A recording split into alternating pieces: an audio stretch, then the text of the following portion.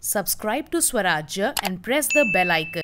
President Ramnath Kovind presented Nari Shakti Puraskar to Neena Gupta for her excellence in mathematics.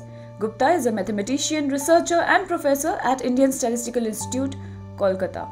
She has solved 70 years old Zariski cancellation problem. The problem was first posed in 1949 by the Russia born American mathematician Oscar Zariski. The Zariski cancellation problem is a fundamental problem in algebraic geometry and often described as among the world's greatest mathematical problems. To explain it in Gupta's own words, the cancellation problem asks that if you have cylinders over two geometric structures that have similar forms, can one conclude that the original base structures have similar forms? Gupta is the third woman and the fourth Indian to win the prestigious Ramanujan Prize for young mathematicians from developing countries for her work on affine algebraic geometry and commutative algebra, and particularly for her solution to the Zariski cancellation problem for affine spaces. Gupta is also the youngest Indian to win the Shanti Swarup Bhatnagar Award by the Council of Scientific and Industrial Research.